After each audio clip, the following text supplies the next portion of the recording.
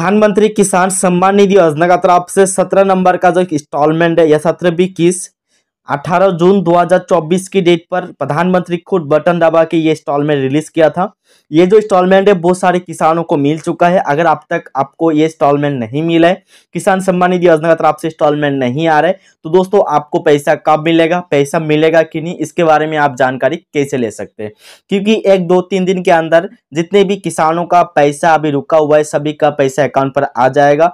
किस कैटेगरी किसानों का पैसा रिसिप्ट होगा, इसके बारे में जानने के लिए वीडियो का अंत तक बना रहिएगा।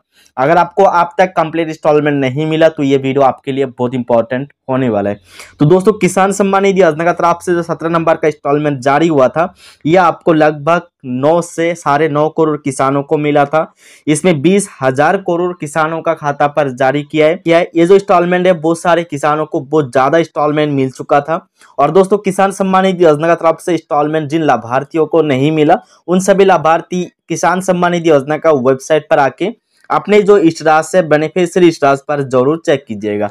बेनिफिशियरी स्टास चेक करना आपका तो आता होगा। आप इसमें रजिस्ट्रेशन नंबर कैप्सा डाल के गेट ओटीपी पर क्लिक करके ओ वेरिफिकेशन करके आप अपने स्टास को ओपन कर लीजिएगा। स्टास पर आने के बाद सबसे पहले तो आपको मिलेगा पर्सनल इन्फॉर्मेशन पर्सनल इन्फॉर्मेशन में आपको सिर्फ़ मोबाइल नंबर शो करना मैंडेटोरी है। किसानों का गार्जियन फादर नेम शो होगा या नहीं, इसमें इतना मतलब नहीं होगा। सिर्फ़ आप एक फॉलो कीजिएगा कि आपका जो मोबाइल नंबर है, इसमें शो कर रहा है कि नहीं। उसके बाद सभी को जाना होगा eligibility transfer eligibility transfer land setting इक्वाइसी और आधार सेटिंग ये तीनों पॉइंट सही होना होगा।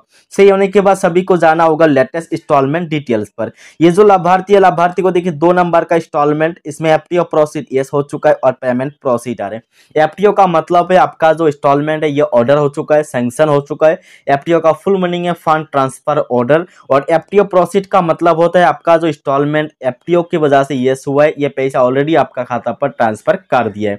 यह पैसा आपको बैंक पर मिल चुका है, लेकिन इस ट्रांसफ़र अब तक अपडेट नहीं हुआ है। अगर आपका इस ट्रांसफ़र एफटीओ प्रोसीड यस आ रहा है और पेमेंट प्रोसीड आ रहा है तो आपको हंड्रेड परसेंट पक्का पैसा मिलेगा। अगर आपको अब तक बैंक अकाउंट पर पैसा नहीं मिला तो इसके लिए घबराने का टेंशन नहीं है। छब्बीस से अड़तालीस घंटा के अंदर ही आपका पैसा आपका बैंक अकाउंट पर मिल जाएगा।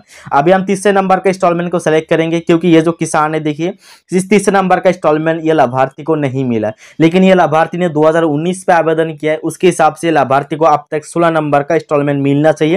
क्योंकि उन्नीस का जुलाई महीना में आवेदन किया है। जिन लाभार्थी फेब्रुआरी, मार्च के अंदर आवेदन किया था 2019 उनको ही मिलेगा सत्रह नंबर का इंस्टॉलमेंट और जिन लाभार्थी 2000 उन्नीस पर आवेदन किया, लेकिन जुलाई, जून, जुलाई में आवेदन किया, उनको मिलेगा सोलह नंबर का इंस्टॉलमेंट तक।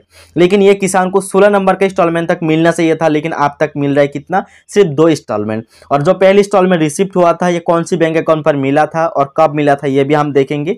देखिए, ये लाभार्थी को पहली नंबर का इंस्टॉलमेंट दो हज़ार उन्नीस अगस्त महीना पर मिल चुका था, लेकिन इस पर जो बैंक अकाउंट बता रहे ग्रामीण बैंक मतलब ग्राम्य, यानी ग्राम्य योजना बैंक यानी ग्रामीण बैंक जिन लाभार्थियों का किसान सम्मान निधि योजना के साथ लिंक है सभी को मैं कहूँगा कि आपका बैंक अकाउंट को ज़रूर चेंज कर दीजिएगा। दीजिएगा। चेंज करने के बाद आपका जो बैंक अकाउंट, जिस बैंक से अपना आधार कार्ड लिंक होगा, उसी बैंक में पैसा आएगा। तो दोस्तों, अगर आप सभी का बैंक अकाउंट के वजह से पैसा नहीं आ रहा है तो आप सभी लोगों को एक ही काम करना होगा। आपका पोस्ट ऑफ़िस पर खाता खोलना होगा, वरना एयरटेल पेमेंट बैंक पर खाता खोलिए जाए क्योंकि सत्रह नंबर का इंस्टॉलमेंट एयरटेल पेमेंट बैंक पर जल्दी रिसिप्ट हुआ है, उसके बाद सेकंड नंबर पर रिसिप्ट हुआ है इंडिया पोस्ट पेमेंट बैंक और सोलह नंबर का इंस्टॉलमेंट के time India post payment bank पर जल्दी पैसा रिसिप्ट हुआ था, लेकिन इस बार एयरटेल पेमेंट बैंक में जल्दी पैसा रिसिप्ट हुआ है। इसलिए आप एयरटेल पेमेंट बैंक पर भी अकाउंट अकाउंट खोल के आप आधार लिंक कर सकते हैं, वरना इंडिया पोस्ट पेमेंट बैंक पर अकाउंट खोल के आधार लिंक कर सकते हैं।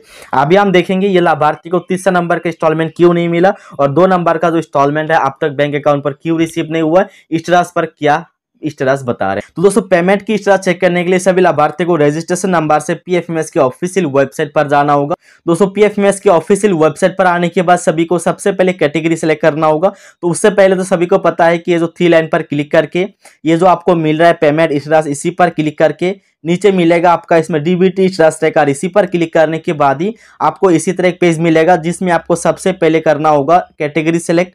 कैटेगरी में आपको पीएम किसान सेलेक्ट करना होगा। उसके बाद दो ऑप्शन मिलेगा, ये ऑटोमेटिक जो सेलेक्ट आ रहा है पेमेंट, इसी पर क्लिक करना होगा। अगर आपका एफ़ प्रोसीड ये रहा है पेमेंट प्रोसीड बता रहे तो पेमेंट पर क्लिक करके एंटर एप्लीकेशन आईडी की जगह रजिस्ट्रेशन नंबर डालना होगा। रजिस्ट्रेशन नंबर डालने के बाद इसमें जो भी कैप्सा है सेम कैप्सा इस पर डाल के चार्ज पर क्लिक करना होगा। चार्ज पर क्लिक करने के बाद आपने जो भी रजिस्ट्रेशन नंबर डाला था, उसके अंदर जितने भी पेमेंट अप्रूव हुआ है, यानी कि रिसिप्ट हुआ है पेमेंट का डिटेल्स ओपन हो जाएगा। जैसे कि लाभार्थी का देखिए पेमेंट डिटेल्स ओपन हो चुका है। अभी थोड़ा ऊपर में स्क्रॉल करके देखेंगे। आने के बाद देखिए, लाभार्थी का इनकम सपोर्ट के हिसाब से दो नंबर की इंस्टॉलमेंट जो स्ट्रास पर दिखाई दिखाई दे रहा था कि पेमेंट अप्रूव है। और उसके बाद देखिए, इसमें क्या बता रहा है सेंक्शन स्ट्रास पर क्लोज आ चुका है। जिन लाभार्थियों का सेंक्शन क्लोज है, उनको ऑलरेडी पैसा रिसिप्ट हो चुका है। जैसे कि लाभार्थी का दो नंबर का इंस्टॉलमेंट रिसिप्ट हुआ है। और रिसिप्ट का जो डेट इसमें क्या बता रहे हैं, देखिए, इसमें 16 से 18 जून किसान सम्मान निधि योजना का तरफ़ से 2000 की जो इंस्टॉलमेंट है, ये इंस्टॉलमेंट ये लाभार्थी को रिसिप्ट हुआ है। अगर आपको भी किसान सम्मान निधि योजना का तरफ़ से इंस्टॉलमेंट आने वाला है, आपका पेमेंट प्रोसीड आ रहा है, आपको ये एफ़ टी हो चुका है तो आपको एक दो दिन यानी कि अड़तालीस घंटे के अंदर ही पैसा मिलेगा। अगर आपका इसमें बता रहे हैं कि पेमेंट पेंडिंग एट बैंक तो आपको पैसा कब तक मिलेगा? क्योंकि ज़्यादा से ज़्यादा किसानों का अभी भी पेमेंट पेंडिंग एट बैंक आ रहा है, अब तक सैंक्शन इंश्योरेंस क्लोज नहीं हो रहे। फॉर एग्ज़ाम्पल किसी, ये किसान का देखिए, सत्रह जून को पेमेंट अप्रूव हुआ है, लेकिन अब तक पेमेंट पेंडिंग एट बैंक आ रहा है, ये पैसा कब तक रिसीव होगा?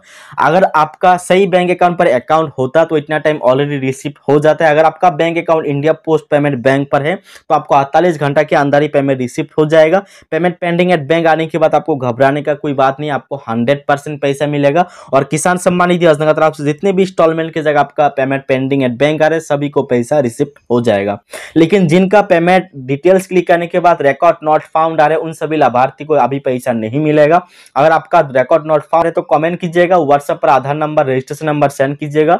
हम कोशिश करेंगे वेरीफाई करने के लिए और आगे बढ़ाने के लिए और आपको पैसा दिलाने के लिए। क्योंकि किसान सम्मान निधि योजना का पैसा सभी किसानों को मिलना चाहिए। और जो बीस हज़ार करोड़ ट्रांसफ़र किया है, ये अब तक बीस हज़ार करोड़ किसानों का खाता पर रिसिप्ट नहीं हुआ है।